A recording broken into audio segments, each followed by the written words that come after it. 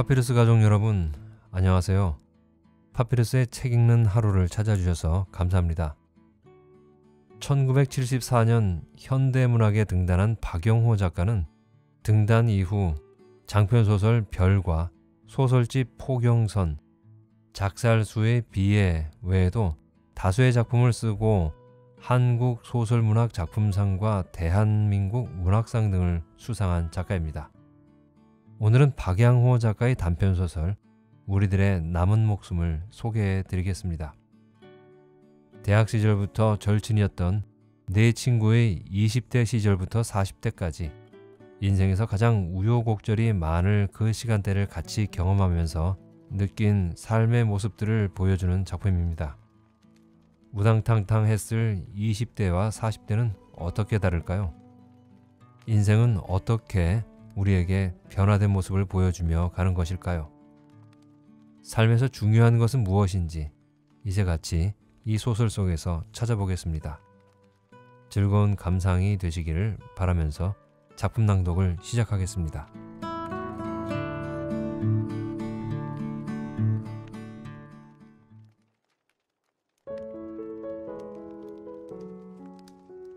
우리들의 남은 목숨 박양호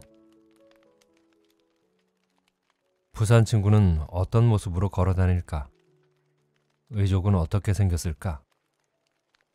전화는 간헐적으로 받았지만 나는 그 친구가 수술을 한 뒤로는 만나본 적이 없었다. 그때가 언제였더라? 가만, 두 번째 차를 사서 얼마 되지 않아서니까 자랑삼아 그 차를 타고 부산에 갔었지. 그때 녀석이 이상한 병에 걸려서 결국은 다리를 잘라야 했고 그리고 그 차의 그 지겨운 36개월 월부가 끝나고 고치고 또 고치면 못 고칠 리 없건만은 하고 온갖 것 다 수리를 해보다가 마침 처남이 그 헌차를 달라고 조르길래 옛다 잘됐다 싶어서 넘겨주고 이제는 아주 튼튼하게 생긴 찝차를 타고 다니니까 이게 계산을 해보면 몇 년이 되나? 그래 까짓것 그게 무슨 상관이람. 버스가 출발을 했다. 시내를 통과해서 고속도로에 들어설 때까지 나는 차창 밖으로 펼쳐지는 익숙한 거리 풍경에 눈을 주고 있었다. 내가 출퇴근을 위해서 늘 다니는 거리였다. 어디쯤에 교통경찰들이 서 있는지, 비가 오면 어느 대목의 길이 혼잡해지는지, 사람들이 많이 건너는 건널목이 어디쯤 있는지에 대해서 눈을 감고도 얼마든지 설명할 수 있는 그런 거리였다. 버스가 가는 둥 마는 둥 하면서 복잡한 시내를 통과해서 고속도로에 들어서더니 아이고 이제 살았다 싶은지 냅다 달리기 시작했다. 강원도에 있는 원동이는 내가 부산 호진이에게 갈 일이 있어서 내일 모레쯤 내려가려고 하는데 형편이 어떠냐고 물었더니 윈터스쿨이 있는 데다가 학과장을 보고 있어서 회의다 뭐다 해서 꼼짝달싹 할 수가 없다고 얘기를 했다. 벌써 몇 개월 전부터 호진이는 내가 부산에 내려가게 되면 원동이와 현상이 등속의 친구들을 불러내리겠다고 벼르고 있었는데 원동이라는 친구부터 부산에 한가지게 놀러올 형편이 되지 못하는 모양이었다. 기실 따지고 보면 나도 전부터 아무 일 없이 부산에 내려가서 호진이 녀석과 한 2, 3일 킬킬대고 놀아 제낄 마음의 여유가 없었다. 마침 호진이 녀석이 인쇄소를 하고 있어서 나이 45이 넘어서 겨우 마친 박사 학위 논문이 통과가 돼 그 원본 한 부와 디스켓을 들고 호진이에게 가는 길이었다. 만약에 호진이가 인쇄소라는 것을 하고 있지 않으면 또 야, 요새 바쁘다. 요번 여름방학 때나 내려갈게. 하고 또 부산 가는 길을 미루었을 것이다. 20대에는 호진이가 부산에 놀러 내려오라는 전화가 없어도 1년에 한 번씩은 거기 놀러를 갔었다. 따지고 보면 남자들의 인생의 줄기 가운데에서 20대만큼 나름대로 빛나는 시절이 있을까 싶다. 문학이라는 아주 장래성이 전혀 없는 일에 매달리고 있었지만 그래도 한때는 희망의 시절이었다. 그리고 가난 속에서도 삶의 반려자를 만나는 결혼 때이기도 했다. 어쨌거나 여자를 얻어서 결혼을 하고 애를 낳는다는 것만큼은 하나의 생물체로서 절정의 순간이기도 한 것이다. 인간의 기준으로 보는 매미는 어떠한가? 6, 7년 동안 땅 속에서 흉측한 모습의 번데기로 지나다가 드디어 우화 등선하여 날개를 달고 허공을 솟구쳐 오르는 매미. 여름이라는 계절의 성숙함을 알리는 울음을 울고 매미는 짝짓기를 한다. 그리고 그해 여름이 지나고 만산에 낙엽이 지면 아무리 힘센 매미라도 결국은 죽게 된다. 사람은 매미의 일생이나 더 나아가 하루살이의 삶을 보고 허무하다고 하지만 300년의 수명을 가진 동물이 만일 인간을 보게 된다면 그 역시 마찬가지가 아니겠는가. 그 친구들 사이에서는 내가 제일 먼저 결혼을 했고 그 다음이 원동이, 호진이, 현상이 순이었다. 부산의 호진이가 결혼을 해서는 서울로 신혼여행을 올라와 우리 집에서 첫날 밤을 지냈다. 물론 둘 사이의 첫날 밤을 언제 지냈는지는 저희들만이 아는 일일 테지만 그리고 서울에서 결혼한 원동이는 부산으로 내려가서 신혼여행을 했다. 역시 뽕 빠진 것은 호진이 녀석이었다. 그리고 30대에 들어서는 피차 집안에 무슨 큰일이 생겨야만 서로 얼굴을 볼 수가 있었다. 그 큰일이라는 것이 대개 집안의 경조사였다. 또 그것은 어떤 의미에서의 세대 교체이기도 했다. 어머니, 아버님이 돌아가신다는 것, 그리고 명실공히 내가 한 가정을 이끌어 나가는 가장이 되었다는 것을 말하는 것이었다. 또한 원동이나 내게 있어서도 직장 때문에 가족을 솔가하여 이사를 내려가서 객지에서 적응하는 시대이기도 했다. 게다가 원동이 녀석이 처음으로 전임 강사 자리를 얻어서 내려간 것이 부산이었다.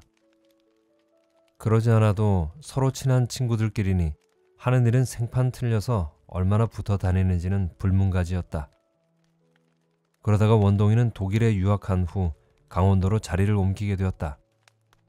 40대에 들어서자 이제 웬만한 일은 전화로 주고받고 딱히 호진이 있는 부산까지 놀러가는 일은 없게 되었다.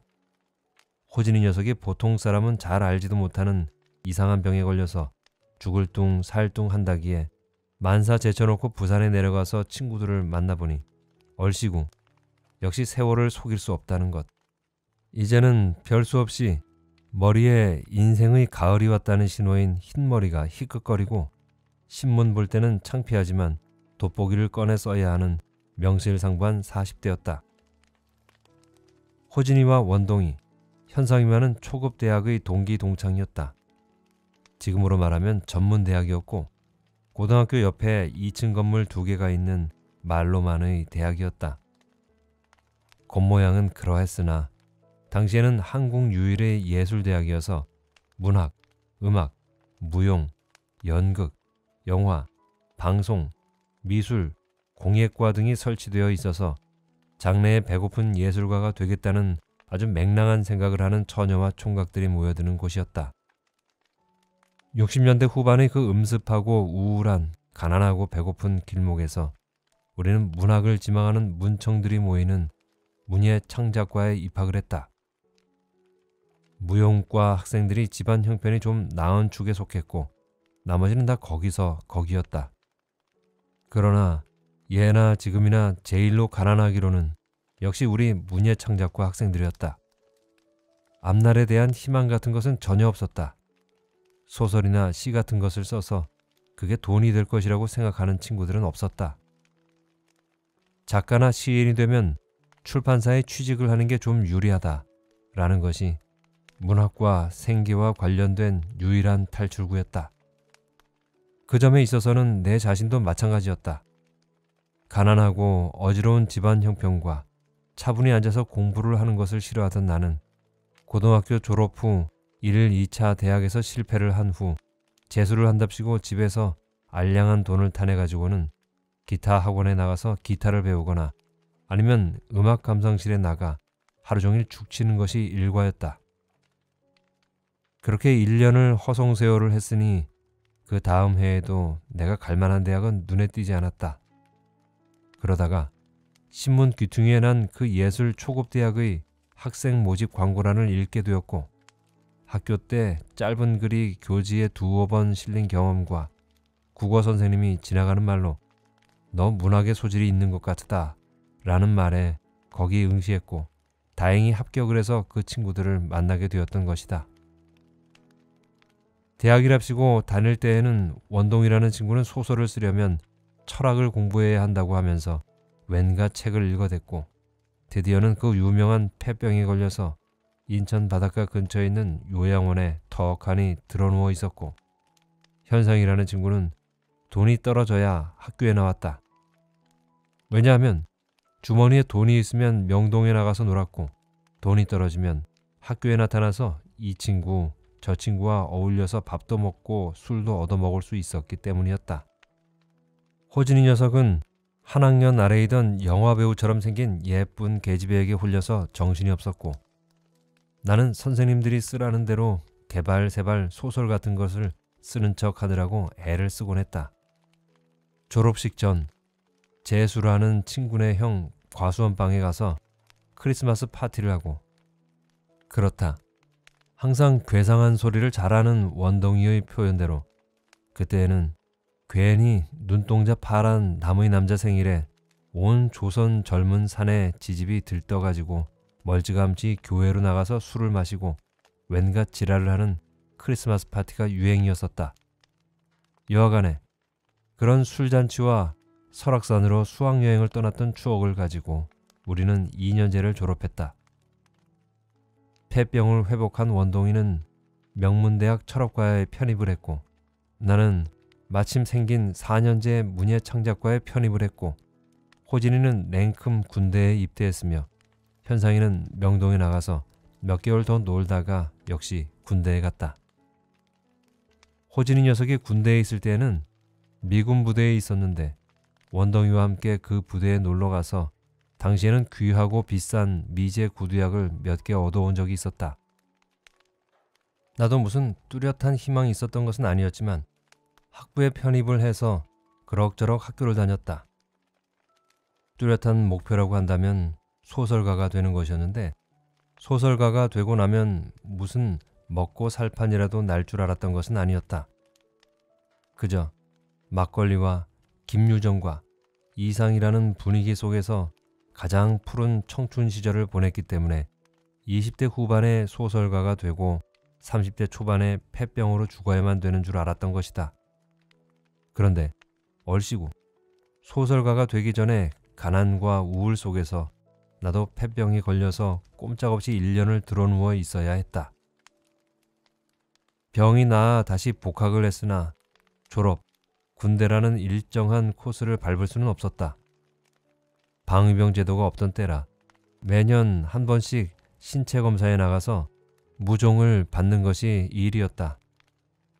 그 후로 내가 녀석을 다시 만나게 된 것은 대학을 졸업하고 조교 노릇을 하고 있을 때였다. 그때 나는 이미 한 여자의 남편, 한 아이의 아버지가 되어 있었다. 내가 살아오면서 내가 해온 일들 중에서 제일 잘한 것이라고는 일찍 결혼해서 일찍 애 아버지가 된 것밖에 없는 것 같다. 왜냐하면 이런저런 현실적인 이유들로 결혼을 미루고 애 낳는 것을 미루던 친구들도 결국 한 친구도 독신으로 늙지 못하고 다 결혼을 하고 애를 낳는 그 종족 보존의 본능을 거역하지 못했으므로 녀석이 호텔 보이 노릇을 한다고 하면서 한번 놀러 오라는 전화가 왔었다. 나는 원동이를 만나서 아니 어떻게 돼가지고 호텔 보이를 하게 됐느냐고 물었더니 호진이 녀석의 먼 친척벌 되는 사람이 부산 동래 온천 호텔 사장인데 거기 취직을 했다는 얘기였다. 70년대 초반만 하더라도 호텔 하면 마치 미군 부대처럼 특수한 사람들의 세계였다. 물론 대학 다니면서 호텔 나이트클럽에 가서 몇 번 춤을 추어본 적은 있지만 엄청나게 비싼 요금 때문에 그저 가끔 친구의 군입대 파티를 1차로 무교동의 시뻘건 낙지와 막걸리로 때운 다음에 모두의 주머니를 털어서 입장료를 내고 들어가 간신히 맥주 두 병을 시켜놓고 새벽까지 춤을 추곤 했었던 것이다. 그 새끼 노름해 원동이가 부스스한 머리를 극적거리면서 말했다. 노름? 아니, 뭔 돈이 있어서 노름을 하냐? 야, 노름이라는 게 뭐 돈 있어야 하는 거냐? 그 새끼 원래 6.25 때 제 엄마가 폭탄 소리에 놀라서 나온 놈 아니냐? 그래서 간이 두 개나 달렸잖아. 그건 원동이가 꾸며낸 얘기였다. 호진이는 6.25 출생이 아니니까 말이다. 워낙에 큰 소리 빵빵 잘 치고 이상한 일들을 겁없이 벌려대는 호진이가 다른 친구보다 간이 클 것이라는 짐작에서 만들어낸 얘기였다. 그래, 간이 커서 부산에서부터 식칼 들고 계집 주기로 상경하는 놈이냐? 내 말에 원동이도 킥킥거렸다. 그건 우리 친구들이 호진이 녀석을 두고 늘 하는 소리였다. 녀석이 군대에 가기 전, 그러니까 한 학년 아래인 영화배우 같은 여자애와 요란한 연애를 하다가 그게 잘 안 되자 그 영이라는 여자에게 편지를 하기를 몇 월 며칠 날 내가 너를 죽이러 갈 테니까 기다려라. 그리고 나도 죽겠다. 하는 최후의 통첩을 보낸 적이 있었다. 지가 무슨 강대국의 외무 대신쯤이라도 되는 줄 아는 모양이지? 아니면 그런 편지를 쓰면 여자가 어머 뜨거워라. 호진 씨, 나 데려가서 옷 홀라당 벗겨주세요. 하고 애원할 줄 아는 모양이야. 하고 우리들은 그 편지를 보고 빈정거렸다. 야, 이건 계획적인 살인 아냐? 그런데 현상이라는 큰 키의 친구가 분위기에 어울리지 않는 말을 했다. 물론 그런 소식은 영이라는 여자애가 원동이한테 전한 것이었다. 겁이 나니까. 그래서 친구들이 모였는데 나로서는 어느 편이냐 하면 그건 그냥 연애 편지의 일종이라는 것이었다. 나는 너를 죽도록 사랑한다. 라는 말이사 이미 수십 번도 더했을 터이니까 좀 강하게 혹은 시적으로 그런 편지를 보냈을 것이라는 것이 내 추론이었다. 벌써 그 60년대 후반에는 자살이 유행이었던 적이 있었다. 뭐 대부분 그때의 자살도 요즘과 마찬가지로 생활고를 비관한 자살, 애정 문제가 대부분이었다. 도대체 일거리가 없었으니까. 요새는 뭔 3D 현상이다 뭐다 해서 젊은이들이 일을 가려서 한다고 하지만 그때는 남대문 시장에 가서 지게꾼은 왜 못하니? 겨우 그 소리를 할 정도였으니까. 근데 말이야, 그 자식 정말 죽을 지경이거든. 오토바이 타고 쌩쌩거리면서 살아계시던 아버님 갑자기 죽자 졸지에 가장은 됐는데 대책은 없지. 어린 동생들은 셋씩이나 있지. 연애는 잘 안 되지.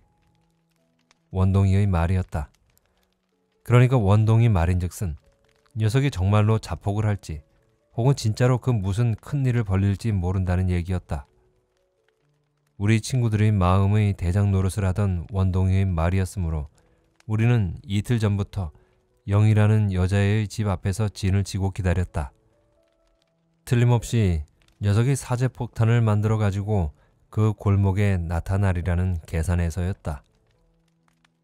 왜 사제폭탄이라고 짐작을 했느냐 하면 언젠가 어떤 식으로 자살을 하는 것이 제일 근사하겠느냐는 화제를 가지고 장시간 논한 적이 있는데 원동이는 제재소에 가서 통나무 자르는 큰 톱에 사지를 맡기는 것이 제일 장렬하다고 했고 나는 기차 레일에 들어눕는 것을 현상이는 수면제 먹고 도봉산 꼭대기에서 잠자는 것을 호진이는 사제폭탄을 가슴에다 터뜨리는 것이 제일 인상적인 죽음이라는 소리를 했었던 것이다. 드디어 그날 우리는 영이라는 여자의 집 바로 앞에 있는 2층 중국집에서 창문을 요렇게 열어놓고 진을 치고 기다리고 있는데 정말 호진이 녀석이 그 못생긴 얼굴을 잔뜩 우그러뜨린 채 물들인 야전 잠바 주머니에 손을 넣고 꺼덕꺼덕 골목길을 올라오지 않는가. 우리는 후다닥 튀어나가서 녀석을 살그머니 뒤에서 덮쳤다. 잘못 건드렸다가는 녀석의 사제폭탄에 애꿎은 우리들도 폭사할지 모른다는 우려 때문이었다. 키가 크고 완력이 세며 또 명동에서 놀아본 현상이가 녀석의 뒤에 살금살금 다가가 몸을 꼼짝 못하게 붙들었으며 나머지 친구들은 녀석의 주머니를 뒤졌다. 녀석은 와이라노 야야 와들리라노 하면서 엉구럭을 떨었다. 그러나 원동이에 의해서 잘 갈아진 식칼이 그의 잠바 주머니에서 나왔다. 사제폭탄은 없었다. 기실 나중 얘기인데 녀석은 사제폭탄을 만들어 보려고 무진 애를 썼는데 영 다이너마이트를 구할 수가 없었다고 고백을 했다. 야, 서울에는 식칼 없어서 부산에서부터 식칼 사와가지고 영희 그 지집에 회 뜰라고? 아이다, 아이다. 그게 아니라. 잔말 마라 이놈아. 야, 이놈 끌고 가서 중국집에 올라가. 우리는 녀석에게 빼가를 먹였다. 녀석은 마치 그 독한 중국집 빼가를 맥주 마시듯이 마셔댔다. 그리고 3일 동안이나 원동이의 집에서 뻗어버렸다.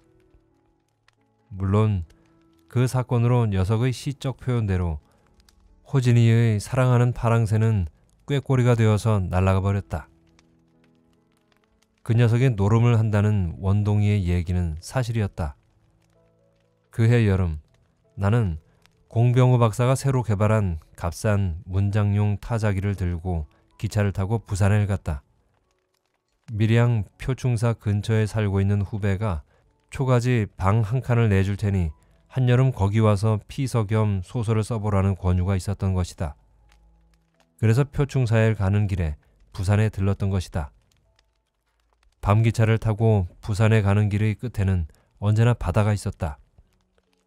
기차가 부산역 근처에 이르르면 서서히 속력을 늦추었고 차 안에서 왼쪽으로 눈길을 돌리면 거기 푸른 바다가 펼쳐지고 있어서 마치 그 무거운 철마가 길다란 배로 변해서 바다 한가운데로 미끄러지듯이 항해를 하고 있는 것이 아닌가 하는 착각을 일으키게 한다.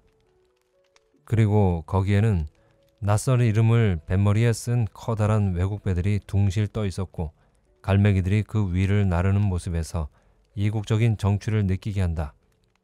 그리고 나는 서울 살 때는 호진이를 만나러 갈 때마다 고속버스보다는 기차를 타곤 했다.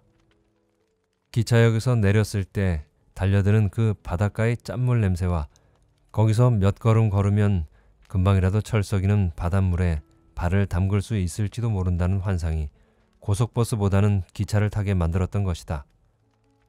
동네 온천 입구에 있는 정다방에서 녀석을 만났을 때 나는 대뜸 물어보았다.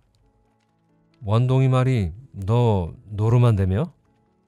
야가 사람 얼굴 보자마자 무슨 노름 타령이고 그게 뭐고? 나는 타자기를 꺼내서 몇 번 두드려 보이면서 그에게 설명을 했다. 마 됐다. 니는 소설 쓰고 원동이는 철학 공부하고 하이. 마 친구들한테 술 살 놈은 나밖에 없는 기라. 가자. 녀석이 나를 데리고 간 곳은 제가 근무하고 있는 호텔 옆에 있는 작은 여관방이었다. 방에 들어가니까 이미 남자 두 명이 기다리고 있었고 그들에게 호진이는 내 소개를 했다. 그리고 곧바로 고스톱을 치기 시작했다. 나도 고스톱에 대해서는 알고 있었지만 문제는 거기 걸려있는 돈이었다. 천 원짜리 다섯 개를 마치 딱지 접듯이 접어서 사용을 하고 있었다. 당시의 천 원짜리라면 지금의 만 원짜리보다 더 힘이 있었다. 내가 대학 조교로 받는 봉급이라는 것이 그때 2만 원 정도였으니까. 하여간에 나는 졸지의 녀석의 화투판에서 돈 계산을 해주게 되었다. 여관방에서 먼저 들어와서 호진이를 기다리고 있던 두 젊은 남자도 하나는 화투를 치는 사람이고 또 한 사람은 돈 계산을 해주는 사람이었다. 와, 이거 오늘 끝발 안 나네. 순진한 대학 선생한테 노름이라는 게 뭔가 보여주려고 했더니만 가만히 있거라. 내 전화 좀 하고. 호진이는 전화로 호텔을 찾더니 이어서 캐셔를 찾았다. 그리고 현금 있는 대로 좀 가져오라고 말하더니 전화를 끊었다. 5분도 채 안 돼서 앳된 얼굴의 처녀가 누런 봉투 속에 현금을 가지고 와서 호진이에게 내밀면서 말했다. 이거 오늘 6시까지 입금시켜야 됩니다. 알았다. 그거 좀 접어라. 호진이의 말에 나와 그 여자는 봉투 속에 들어있는 돈을 딱지처럼 접기 시작했다. 접고 나서 헤아려 보니까 50만 원이었다. 나로서는 생전 처음 만져보는 거금이었다. 5시 30분까지만 치는 기다. 알았나? 호진이의 말에 상대방도 고개를 끄덕였다. 나는 시계를 보았다. 오후 3시였다. 내 입안에는 침이 말랐고 오줌조차 누를 생각을 하지 못했다. 계속해서 돈이 왔다 갔다 했고 화두장 투덕이는 소리만 들렸다. 녀석이 사용하는 돈은 오후 6시까지 입금시켜야 되는 호텔, 그러니까 녀석이 다니는 회사의 공금이었다. 녀석의 말 한마디에 회사 공금을 있는 대로 가져오는 여자애와의 관계에 대해서는 궁금할 것도 없었다. 어쨌든 죽기 살기로 그 여자를 꼬였을 테니까. 문제는 그 시간까지 계속 잃기만 하는 그 공금이 회수되느냐였다. 만약에 그렇지 못한다면 무슨 사건이 날지 알 수가 없었고 현장에 있었다라는 사실 하나만으로도 나는 여러 가지 비난을 받는 것을 감수해야 할 처지였다. 그러나 참으로 천만 다행이었다. 오늘은 네가 이겼다. 약속한 대로 상대방이 손을 털었다. 그리고 잠시 다시 서로의 계산을 맞추어 보았다. 상대편이 잃었다고 주장하는 돈의 액수는 5만 원이었다. 호진이가 내게 물었다. 딴 돈이 얼마냐고. 나는 4만 5천 원이라고 말했다. 마 됐다. 이거 입금시키고 이따가 일식집으로 나온나. 서울 친구 왔으니 한 잔 사야지. 일식집에서 술을 마시면서 녀석은 희희낙낙했다. 돈을 따서 기분이 좋은 모양이었다. 야, 호진아. 사실은 말이야. 네가 딴 돈이 4만 5천 원이 아니라 5만 원이라고. 내가 거짓말했어. 와? 응. 우리 친구들 사이에서는 화투판 끝나면 언제나 잃었다는 돈이 많고 땄다는 돈이 적은데 그게 왜냐하면 잃은 친구한테 돈을 적게 돌려주려고 그러거든. 돈을 돌려준다고? 그래. 막 웃긴다. 프로의 세계는 냉혹한 기라. 돌려주는 게 어딨노? 그나마 됐다. 네 그거 가지고 표충사 가서 염소고기나 좀 묵어가면서 글 써라. 내가 서울로 돌아와서 친구들한테 그 얘기를 했더니 대뜸 프로의 세계는 냉혹하다는 말이 당구 칠 때나 화투 칠 때나 일대 유행을 하게 되었다. 그러나 역시 프로의 세계는 냉혹해서 녀석이 드디어 공금 300만 원을 노름판에서 홀라당 잃어버리고 도망간 곳은 초급 때 졸업한 후 서울에 일자리가 없어서 다시 시골로 돌아가 농사를 지으면서 시를 쓰고 있는 성종인의 집이었다. 거기서 그는 성종이라는 친구가 사용하는 농약을 먹고 자살을 하려고 했는데 이 자식이 이게 기미가 아무래도 이상하다라고 생각한 성종이가 서울 친구들에게 전화를 하는 바람에 결국 녀석의 두 번째 자살 소동도 미수에 그치고 말았다. 공금을 노름으로 홀라당 날려보내고도 그 회사의 사장이 먼 친척이 되는 까닭으로 녀석은 감옥에 덜컹 들어가 앉는 신세는 면했고 일이 수습이 된 지 얼마 후에 술집을 차려놓으라는 전화가 왔다. 그 술집 제목이 안다 싸롱이었다. 녀석은 그 술집을 차리고 곧 결혼을 했다. 그리고 신혼 여행길에 들려서 첫날 밤을 우리 집에서 잤다. 다른 친구들보다 몇 년 먼저 결혼을 한 까닭에 그 가난한 시절에도 서울 친구들의 집합소가 우리 집이었다. 어쨌든 쌀이 있고 밥을 차려내주는 아내가 있었으므로 녀석이 동네 온천에 안다사롱을 차리고 술 장사를 할 때가 아마도 녀석의 전성기가 아니었나 싶다. 술 장사를 해서 집안 살림을 꾸려나갔으며 세 동생들을 다 교육시켜냈다. 두 번씩이나 친구들 앞에서 자살 소동을 벌일 정도로 지랄 같은 데가 있는 친구였지만 그래도 우리는 녀석이 훌륭하게 집안을 이끌어 나가고 있다는 사실에 대해서 늘 한 수 쳐주고 있었다. 그도 그럴 것이 석사 과정을 마치고 명색이 대학의 시간 강사라고는 하지만 원동이는 제 할아버지 할머니 신세를 나는 처가 덕에 그럭저럭 공부랍시고 하고 있었던 것이다. 녀석의 안다사롱 사장 시절에 특히 원동이가 부산에 자주 갔고 나도 1년에 한 차례씩은 부산에 놀러 가서 2, 3일을 지내곤 했다. 녀석은 그 무렵에 술집을 하다가 알게 된 우리 친구들이 통칭하기를 언니라고 하는 여자와 동네에 딴 살림을 차리고 있었다. 본가가 부산 역전에 있고 술 장사라는 것이 새벽이 돼야 끝나기 때문에 어쩔 수 없다고 변명을 했지만 언제나 자신의 일들을 대신 해낼 수도 있는 여자와 깊은 관계를 유지하는 것이 녀석의 버릇이기도 했다. 우리가 부산에 내려가서 주로 먹고 자고 한 것은 녀석이 딴 살림을 차린 그 언니네 집이었다. 어떤 때 부산에 가면 녀석은 일이 있어서 얼굴 보기도 힘들었고 우리의 뒷바라지를 그 여자가 다 해냈다. 호진이 녀석의 본부인한테는 밥 한 끼 얻어 먹어본 적이 없었지만 언니라는 여자에게는 서울 친구 모두가 신세를 져서 혹 그 언니가 무슨 볼 일이 있어서 서울에 나타나면 우리가 모여서 대접을 해야 했다. 어쨌거나 그는 안다 사롱이 됐건 모른다 사롱이 됐건 간에 술집을 해서 큰 동생과 둘째 동생을 결혼까지 시켰고 이제 여동생 하나만 남아 있었다. 그 사이에 외상 술값 수금을 다니다가 오토바이 사고가 나서 팔이 한번 부러졌었던 일을 빼놓고는 별일이 없었다. 그렇게 집안이 가지런히 되니까 이 친구가 그만 딴 생각이 들었던 모양이었다. 어느 날인가 내가 살고 있는 동네에 나타나서 우리 집에서 하룻밤 자면서 이런저런 얘기를 하면서 그는 말했다. 내가 술 장사해서 동생들 공부시키고 재금 내줬지만 마 이제 술 장사 소리 지겨분기라.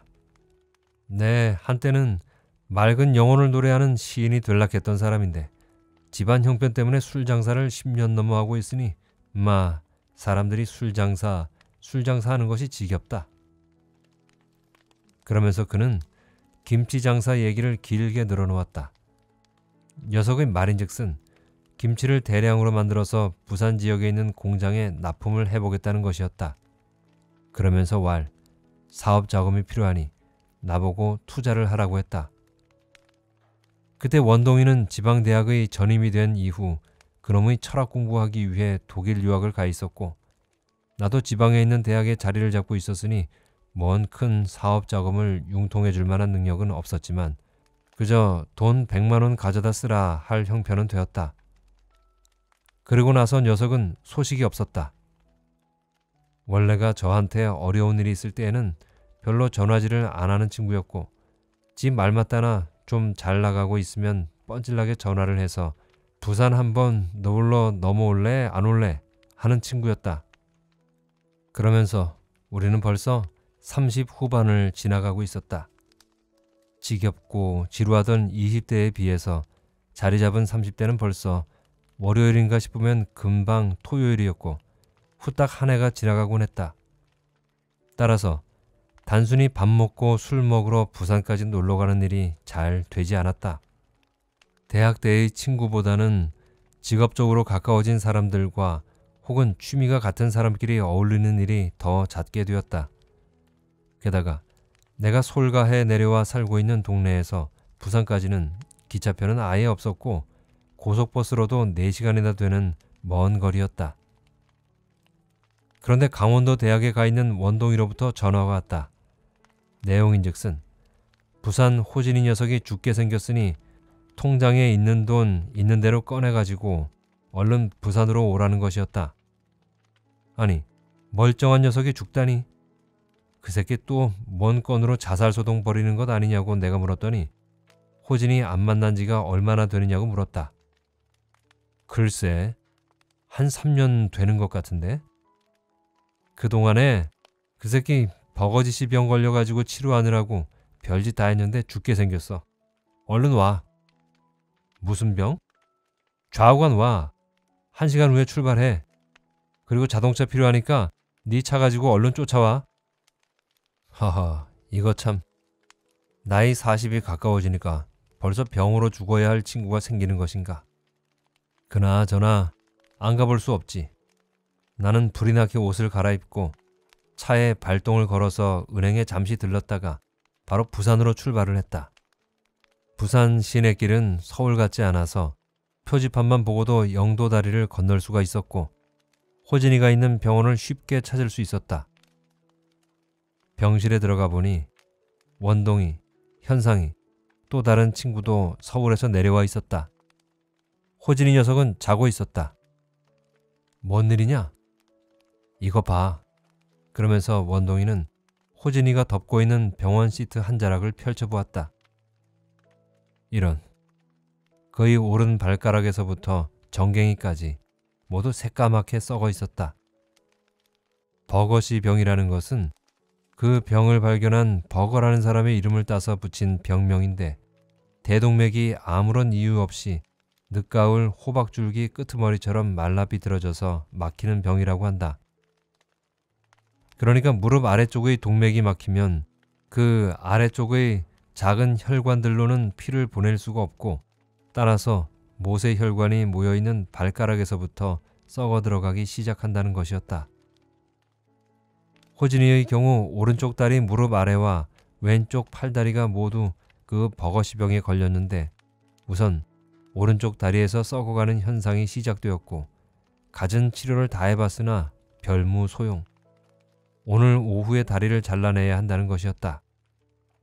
그러지 않으면 썩어 들어가는 부위가 점차 올라오므로 수술실에 들어가기 전에 의사가 와서 무슨 약품을 탄 그릇 속에다가 호진이의 발을 놓고 메스로 쭉 갈랐는데 녀석은 아프다는 소리도 하지 않았다.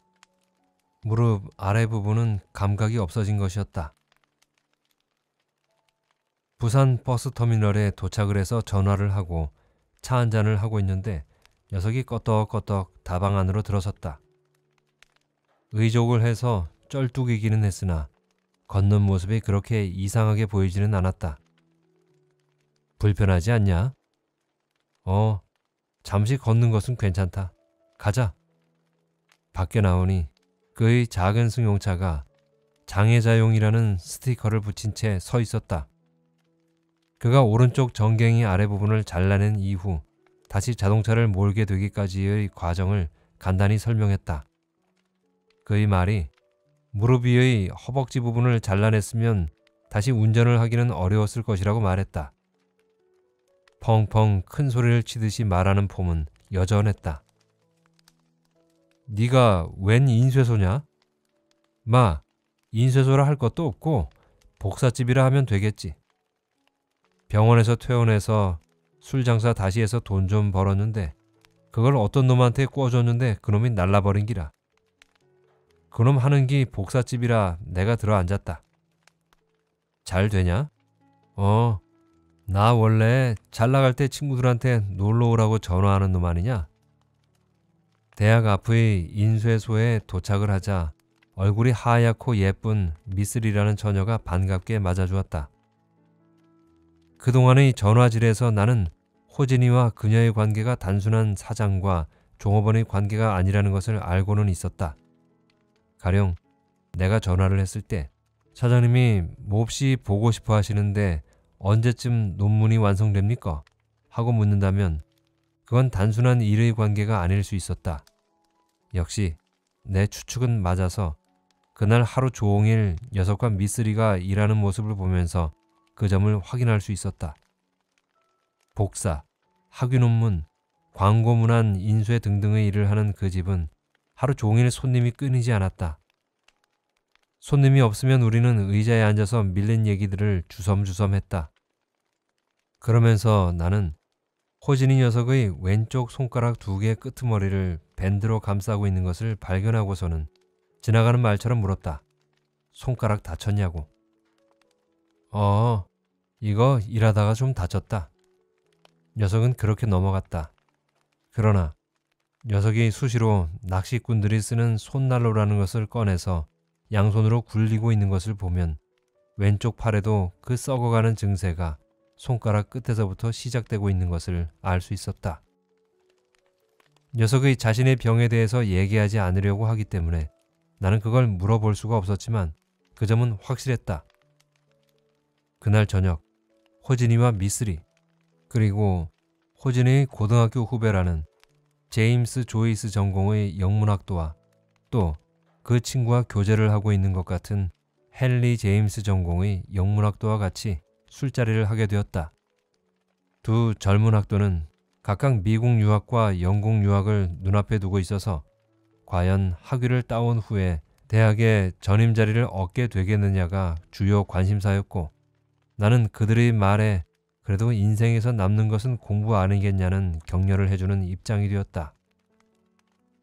사업을 하다가 망하면 다시 시작할 수 있지만 공부는 할 때 해두어야 한다는 말을 내 늦은 공부에 비교해서 얘기를 해주었다. 그리고 술이 거나해졌다. 나는 호진이 녀석이 술을 자꾸 마시는데 신경이 쓰였고 미쓰리도 한두 잔만 마신다 카더이 라는 말을 연발했다. 야들아 봐라 나도 아버님 안 돌아가셨으면 야나 원동이처럼 공부해서 작가도 되고 대학 교수 됐을 것인데 불쑥 호진이가 그런 말을 했다. 얌마 인생살이 전체가 다 시고 소설이다. 그게 뭐 별건 줄 아냐? 마, 네 말이 맞다. 그래도 니는 네 소설이 남고 원동이는 책이 남을 게 아이가. 나는 이게 뭐고? 그래도 니는 온갖 장사에서 집안 이끌었고 이제 다시 재기해서 다시 만났으니 얼마나 좋냐?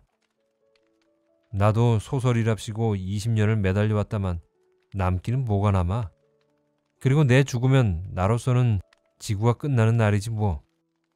그나저나 너 수술실에 들어가면서 나보고 뭐라고 해서 날 울렸는지 아냐? 뭐라 했는데?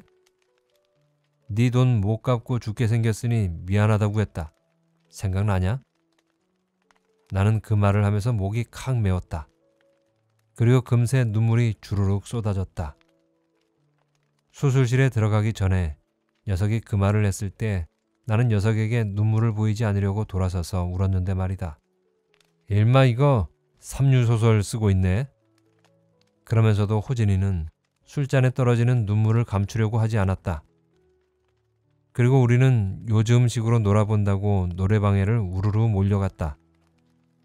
처음 마이크를 잡은 호진이 녀석은 느닷없이 이래도 한 세상 저래도 한 세상 하는 노래를 불렀다. 참 이상한 일이었다. 그 노래가 그렇게 멋들어진 노래인 줄을 이제야 알게 되다니. 이래도 한 세상, 저래도 한 세상. 너는 무엇을 하려고 왔느냐? 그러나 새벽에 여관에 들어서서도 나는 술 취한 김에도 잊지 않고 혈압약을 챙겨 먹었다. 사는 데까지는 살아야 하니까.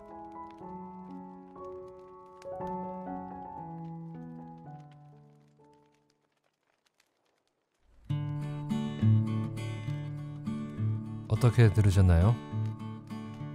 이 소설을 읽으면서 저는 인생에 대해서 달관한 것은 아니지만 인생에 대한 조금은 뭔가 여유로움을 느꼈습니다. 이런 자세를 보통 관조적이다 라고 표현을 하지요. 삶을 관조한다는 것은 삶을 달관한다는 것과는 조금 다른 느낌입니다. 관조란 느긋하게 한 발짝 뒤로 물러나서 전체적인 모습을 바라보며 그 속에서 여유를 가질 수 있는 것을 말하는데요. 이 소설의 주인공은 20대, 30대, 40대로 나이가 들어가면서 조금씩 자기 삶에 대해 그런 눈을 가져가고 있습니다. 특히 호진이라는 친구가 그에게 영향을 주는 것 같은데요. 호진이 입장에선 자기도 돈이 있었더라면 주인공처럼 공부를 해서 소설가가 되고 교수도 되었을 거라며 장사에서 돈이나 버는 지금의 자신을 아쉬워합니다만 주인공 입장에서 보면 또 호진이가 더 대단해 보이기도 합니다. 왜냐하면 이 친구는 장사에서 돈 벌어 가족을 먹여 살리고 집안을 이끌어 나가고 있지만 자기 자신은 아직도 시댁의 힘으로 공부나 하고 있는 처지니까요. 게다가 소설가라고 한들 세상에서 알아주는 명작이라도 써서 이름이 알려진 것도 아니니 친구 호진이보다 더 나을 것도 없다 생각하죠. 제가 보기엔 둘 다 아주 괜찮은 삶입니다. 어느 쪽 길을 걸었든 둘 다 최선을 다해 살아왔으니까요. 그것만으로도 대단한 것 아닌가요? 세상엔 힘들다고 포기하고 난관을 만났다고 무릎을 꿇고 쓰러지는 사람들이 얼마나 많은가요? 소설 속에 있는 내 친구들에게도 그런 일들이 많았겠지요. 하지만 그들은 열심히 개척하며 지금 이때껏 버티고 있는 것 아닙니까? 잘 버티고 있는 것만도 대단한 거죠. 인생살이가 다 시고 소설이라는 말은 맞는 말입니다. 이 말에 저도 공감하는데요. 언젠가는 내 주위의 사람들도 내가 쓴 소설과 시를 읽게 되겠지요. 그런 의미에서 내가 쓰는 소설은 멋지고 창피하지 않게 써야 하지 않을까 싶어집니다. 마지막 주인공의 말이 여운이 있네요. 사는 데까진 살아야 하니까. 그렇습니다. 하늘이 정해준 운명으로 사는 데까진 살아야 하니까 대충 얼버무리며 살 수는 없겠죠. 이상 파피루스의 아주 주관적인 감상평이었습니다. 지금까지 박양호 작가의 우리들의 남은 목숨을 읽어드렸습니다. 저는 행복한 책 읽기 파피루스의 책 읽는 하루였습니다. 다음에 뵐 때까지 건강하시고 행복하세요.